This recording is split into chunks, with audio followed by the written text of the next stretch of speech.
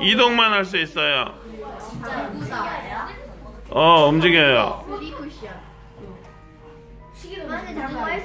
어?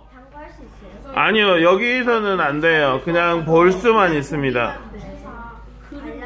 이렇게 여러분이 이것저것을 탐험을 해보세요.